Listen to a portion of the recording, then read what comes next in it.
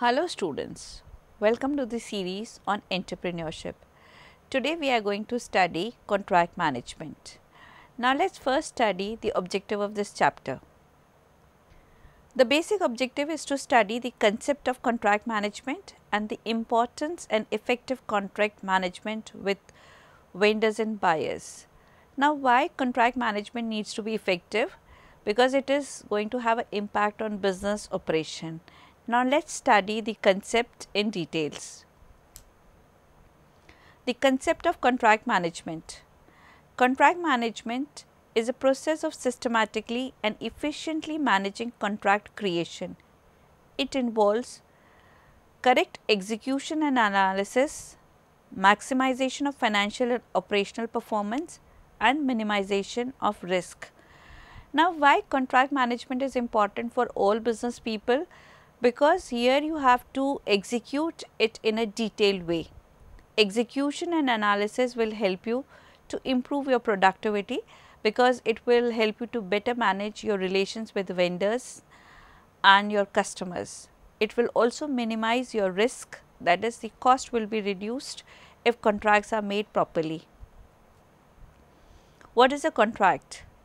A contract is a written or oral legal binding agreement between the parties identified in the agreement to fulfill terms and conditions outlined in an agreement. So, contract is basically an agreement between two parties, party A and party B or there could be multiple parties. So, people who are outlined with the name and in the address, they are liable to fulfill the terms and the conditions of the contract for a definite period of time. Contract management it is management of contract with customers, vendors, partners and employees. The personnel in the company they are required to negotiate, support and manage effective contracts. Now you have contract with vendors, you have contract with buyers, partners, employees and also with customers. These contracts they are a binding on people to perform in relation to the amount of money which is being invested or which is being involved. So, the personnel of the company that is the people and the human resource of the company is um, dealing with the designing and the drafting of the contracts in such a way that everybody is satisfied. All the parties who are impacted by the contract must be satisfied in relation to the money invested. Now, let us study the forms of commercial contracts. The various forms of commercial contracts are employment letters, sales invoices, purchase orders, utility contracts, outsourcing and international trades. The various forms of the contracts are impacting the business activities from employment orders to purchase orders and to customer warranties and also outsourcing of services and other activities. So, these are the forms which generally impact your way of working in business. Now, necessity of designing contracts. The complex contracts are often necessary for construction projects, goods and services that are highly regulated, services with detailed technical specifications and IP agreements. Now, it is very necessary that you frame intelligent contracts and do effective management because sometimes the projects are very complicated where specifications can be more than 1 lakh specification that if you go for a very big construction project. Now, the construction project would uh, deal with the specifications of the materials used, the brands used, the uh, designs, the architect, the interior, the exterior. So, there are many, many issues related to the uh, construction of the projects and also the CSR issues impacting if there are accidents who will be responsible, uh, what what is the implication of using child labor or other activities, there should be no harassment. So, there is lot of uh, complex activities uh, which are legal, which are philanthropic and which are cost uh, based sensitive activities which need to be specified in contracts before signing any project. So, the contracts are detailed for all the activities related to services which are technical, where ordinary people cannot understand because you need the expertise of uh, engineers or doctors in terms of using medicines uh, where we are using the patents of other companies to manufacture drugs and other chemicals in the industry. Use of contract management software. The contract management software aids to administer among multiple parties employees have the pressure to better access and mitigate the financial and legal risk associated with it. Now, nowadays because technology is there, you have softwares and computers where once the contract is feeded, it can be accessed by all the parties from their own destinations. And these softwares aid you with all the uh, various specifications. So, uh, whatever is left you can cover because that software aids you in better administration and because you are better equipped with the knowledge of the software uh, people and the human resource they are more trained to reduce the legal and the financial risk associated with all the agreements happening in the business. The areas of contract management include authorization and negotiation, baseline management, commitment management, communication management, contract visibility and awareness, document management, growth that is sales side contract, contract compliance and governance. Negotiation is basically for delivery services and cost. Commitment is for time and issues related to quality. Communication is to reach in terms of marketing and advertising of the uh, sales and the goods. Visibility and awareness is how much you are making that contract to be known by people that you have given the best to them. Document management is the number of copies given or the number of uh, documents which are to be made and given to each party whether he is a customer or a vendor. Growth has to be done in targets re related to sales and contract compliance and governance is related to administration and the detailed compliance related to taxation and support to the governments and the other political parties. Phases of contract management. Contract management can be divided into three phases, pre-contract phase, contract execution phase and post-award phase. So, the pre-contract phase is the preparation, uh, drawing a outline, searching for specifications of products and services. Contract execution is to draft and design and agree that is negotiate and do it. Post award phase is documentation and distribution and compliances. Compliances need governance structure. In 1979, Nobel laureate Oliver Williamson wrote that governance structure is the framework within which the integrity of a transaction is decided. Now, compliance is that the party's credibility has to be there, the honesty has to be there to comply with the government norms and also with the taxation norms and the transportation and the costing norms. So, it, it is a credible structure which has to support the countries and the visions and the philosophy of the uh, sustaining government. Now, let us study the components of collaborative governance. First component is relationship management structure this deals for all the parties working together. Second component is the joint performance and the transformation management process which is designed to track the overall performance of the partnership. Now, when you study the relationship management, you have to see to whom you are being uh, related and where you are impacting. We have the insurance sector where is the third party liability insurance that is if you are met with an accident and if the harm is given to the third party, then who will bear? So, these things are to be decided and outlined before we are uh, negotiating with the contract because it is not only two parties working uh, in a business sector, but any accident or any leakage from company can pollute the environment and also uh, create accidents. Uh, you have seen the Bhopal gas tragedy where the public had been impacted. So, if the contracts are made efficiently for creating responsibility and the uh, litigation areas, it would be uh, the companies can be saved from the death which happened with the Union Carbide company. uh, that was basically bankrupt because of the litigation from all sides and all aspects of the suppliers, vendors and the public. Joint performance is the execution uh, so as to track how one's performance would be a sequence where the other person would connect and get the work done. Then is an exit management plan. This is the third component of governance which is needed to make ethical proactive changes for mutual benefit of all parties. And fourth is the compliance for special concerns and regulation.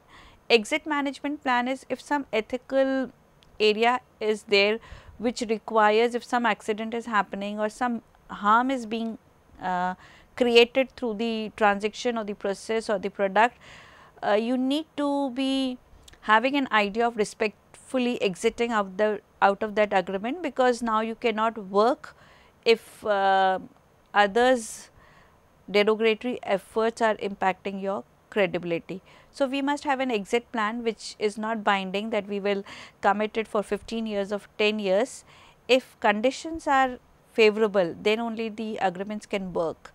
And then the fourth component is the compliance that is you have to agree with the rules, regulations and the policy structures of the domestic and the host country. Now, let us study the statutory provisions for governing the purchase transaction we have the Indian Contract Act of 1872, the Indian Sale of Goods Act of 1930 and the Arbitration and Conciliation Act of 1996. Now, these acts are legal binding acts which are principally for the quality transaction of services that is uh, the contract act is basically giving you the guidelines that how do we have to enter into the contract with the name and the address. Uh, the both the parties have to be mentally sound and they both have to be adult that is you cannot have contracts with child or kids who do not have understanding. Then the sales good act has to give you goods in terms of quality and have to give you full value for the money invested. The good should not be harmful for the public health. Now, let us study the constitutional provisions. All contracts shall be made by an authority empowered to do so by or under the orders of the President in terms of article 299.1 of the Constitution of India. So, constitution basically gives you a legal binding that when you sign a contract in uh, High Court or any court of India, you are basically liable to fulfill all the terms and conditions related to the sale deed or to the other deeds which you are signing. Now, let us study the general principles for contracts. The terms of the contracts must be precise and definite. Standard forms of contracts should be adopted. The legal and the financial advice should be taken in drafting the clauses. Price variation clause should be provided only in long term contracts where the delivery period extends beyond 18 months. Now, there are certain principles where people need that when you are drafting contracts, they should not be very lengthy, they should be precise, definite, they should be understood, there should be no leakage, no loophole, no gap area. Every aspect, even like it is not only quality, even the brands should be covered because when you specify the brand then the price becomes definite that is you must have the capping for the price and uh, the time slot should also be agreed upon. More in terms of payment should be clear. Contract should contain a provision for recovery of liquidated damages for defaults on the part of the contractor. A warranty clause is essential suitable provisions for settlement of disputes to be incorporated. Now, first is terms and conditions of payments, warranty that is even after you have acquired the goods and if they do not perform after the checks of quality then who is responsible. So, warranty will give you a safer side that the seller who is giving you the goods at least must give you a warranty of 1 year or 5 year depending upon the um, performance or the productivity of the product to which you are associated. So, these things are essential which will make contracts effective and there will be uh, no hurting of the parties and in case if the contractor is not able to fulfill your uh, uh, production, then you must also have a clause to liquidate his assets. Acceptance of contract. Contract is deemed to come into force with the acceptance of a tender. Acceptance of the same is to conveyed by the supplier within 7 days of the receipt of the supply order.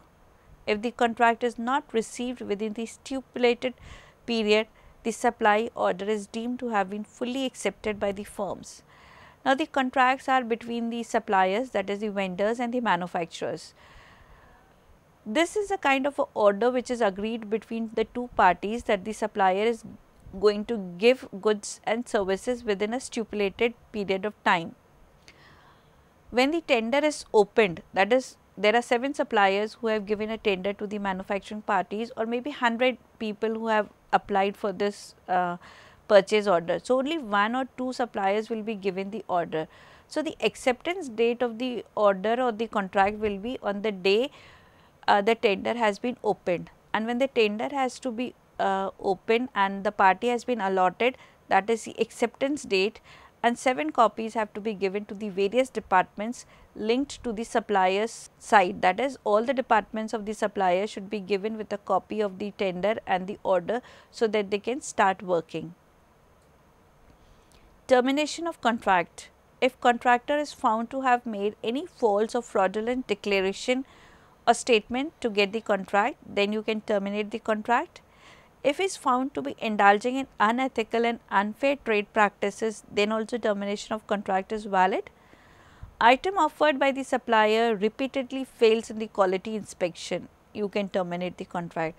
There should be a clause for the termination of the contract that is if the buyer has given a contract to a supplier and the supplier is using unfair practices in terms of payments, in terms of uh, giving fraud goods or giving you quality which is below the specifications or using unethical practices of saving his cost, then the buyers can cancel the contract, but this has to be in accordance with the clauses.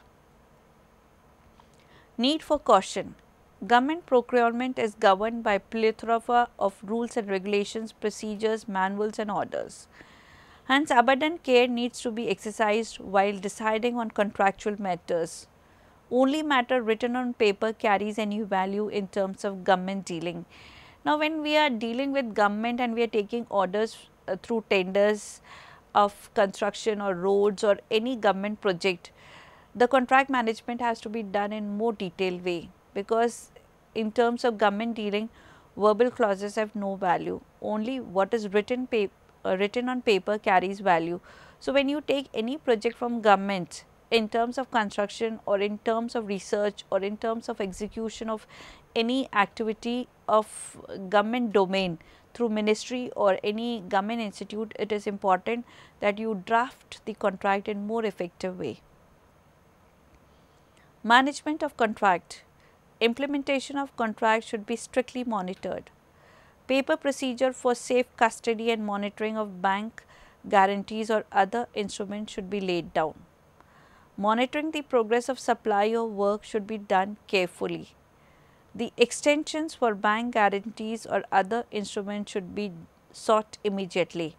Now, when management of contract is there like if you are into exports or into imports, it is important that all the documentation and all the paperwork should be done.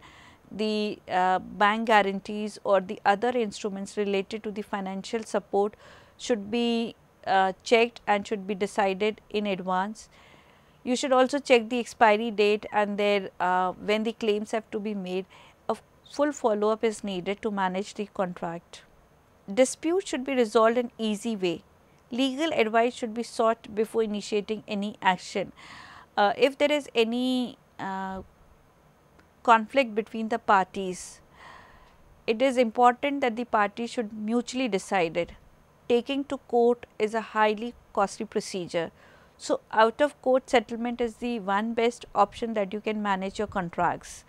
Before framing the contract, it is important that you take legal actions and even if you want to initiate any action you should sought legal advice because if you initiate wrong actions, it will incur a cost or it will be a kind of a lawsuit against you. The relaxation in the contract terms and conditions should be discouraged as it could increase the cost of doing business. Contracts should be closely monitored.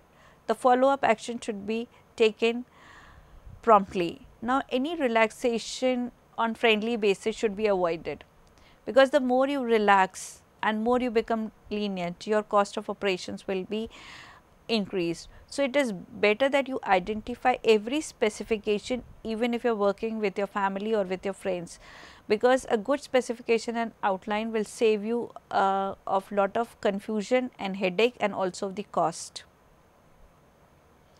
Causes of failure of contracts. Contracts fail primarily due to multiplicity of agencies, delays, lack of clarity in decision making.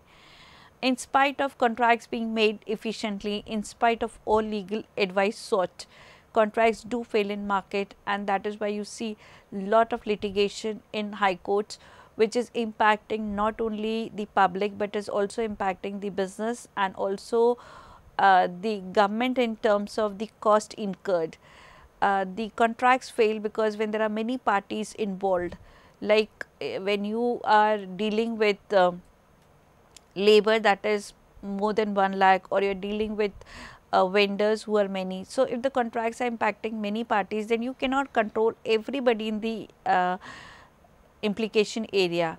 So, here sometimes the contracts do fail, sometimes the projects are delayed beyond your control. So, contracts will lose value because uh, when the project is delayed it not only increases the cost of construction, but it is also the opportunity cost and the business lost which would generally make the gestation period of the business high and eventually make the project to die. The lack of clarity uh, of fixing who is the decision maker, uh, where is the responsibility center, who is impacted and who is implied for every detail activity is not specified.